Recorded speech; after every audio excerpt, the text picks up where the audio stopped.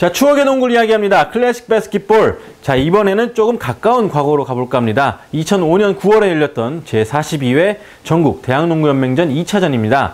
자, 결선 리그에서 한양대학교와 경희대가 맞붙었는데요. 자, 경희대에서는 가장 주목해야 될 선수가 한 명 있죠. 바로 아르헨티나 특급 김민수 선수입니다. 현재 서울 SK 나이츠에서 뛰고 있는 김민수 선수. 그 데뷔 당시만 해도 아르헨티나 출신이라는 점 때문에 상당히 많은 관심을 받았었는데요. 또 플레이에서도 탄력과 힘을 겸비한 그런 플레이로 팬들의 기대를 모았던 선수이기도 합니다. 자, 그래서 오늘 저희는 부제를 붙여봤습니다. 김민수의 응답하라 2005. 자, 김민수 선수 이때의 플레이를 회상하면서 SK에서도 아주 멋진 플레이 해주시길 기대하겠습니다. 자, 지금부터 경기 감상하시도록 하겠습니다. 42회 전국 대학농구 2차 연맹전 결선 리그 마지막 날입니다.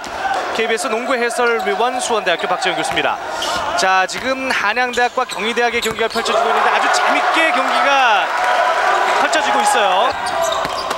김민수 아, 잘 치고 아, 좋은. 블락이에요. 블락샷.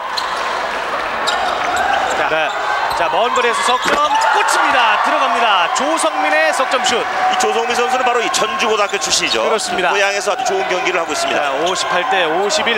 네. 그러다 보니까 오늘 경희대학 선수도 좀 지친 것 같아요. 네, 체력적으로 좀 이제 붙여 보이는 경희대학교. 자, 석점 들어갑니다. 석점 홍수. 김정훈의 3득점. 58대 54. 넉점 차. 이 경희대학교가 강팀에게는 강하고 조금 조금 팀에게는 또 약한 면을 보이고 네, 있어요. 기복이 좀 있는 편이죠. 네, 그래서 이제 경희대학이 바로 동국대학에도 예선에 지지 않았습니까? 그렇죠. 현민, 김민수에게. 자, 김민수 그리고 들어갑니다. 슛 동점입니다.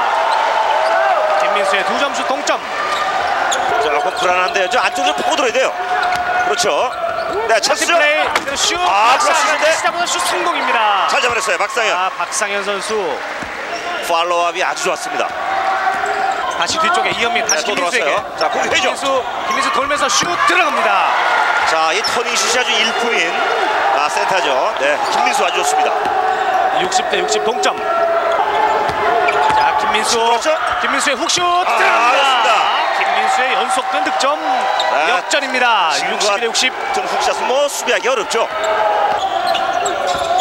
이현민. 네, 자, 또 바운드. 패스 골 밑에서 슛 네. 들어갑니다. 선수가 연속 8점을 좀 득점하고 있는데요. 안돼 이지훈 한 사람 제치고 그리고 석점 시도 성공! 자 이지훈의 역전 석점 아, 오늘 이지훈 선수가 29점을 득점했어요. 29점이에요 2학년 선수인데요 배재고등학교 나온 2학년 이지훈 자 다시 김민수의 reverse layup 들어갑니다 자, 경희대에서 지금 김민수 선수 많이 득점을 하고 있어요.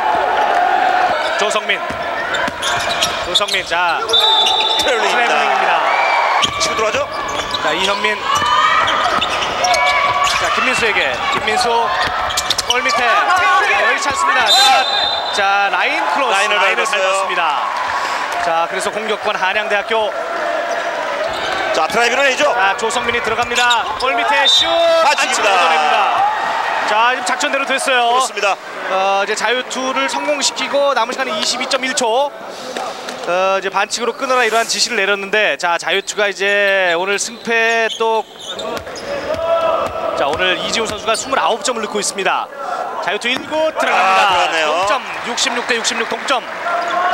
자 자유투 2구도 들어갔습니다. 아, 들어갔어요. 자, 자. 67대 66. 또 10초 보내고 한 개 자르고 이런 지시를 내렸는데요. 아, 자, 반칙 하나 했네요. 반칙이 남았습니다. 7초가 경과됐습니다. 네, 남은 시간은 15초예요. 15초가 남아 있습니다. 경희대학이 역전승할 수가 있습니다.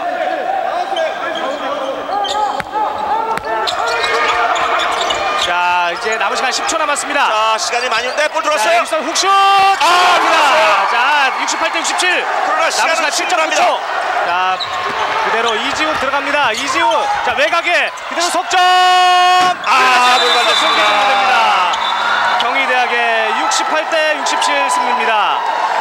아, 경희대학 김민수가 해결을 했어요. 그렇습니다. 골 밑에 포스트가 잘 들어갔죠. 네. 과감하게 1대1 했는데 이것이 결국 역전승을 만들어냈습니다. 네, 마치 우승을 한 것처럼 최우영 감독과 김영국 코치가 좋아하는데요. 자, 이 극적으로 김민수의 훅슛 들어가면서 어, 경기대학이 한양대학에 68대 67 한 점 차의 승리를 거뒀습니다. 자 김춘수 감독은 자, 아쉬워하는 표정인데요. 왜 파울로 어, 안 잘랐느냐 그렇죠. 이런 이제 참, 뭐. 아쉬움이죠. 근데 뭐 한양대학 오늘 뭐 역전패를 당했습니다만 잘했습니다. 네, 어, 오늘 농구 팬들에게 아주 멋진 경기를 한양대학도 보여줬습니다. 자 이렇게 되면은 경희대학교는 3승 2패로 이제 마무리가 됐는데 자 이현민 선수가 바운드 패스 여기서 훅슛 오른손 훅샷이죠. 네. 네. 막기가 어려운데 정확하게 성공했어요. 네. 네.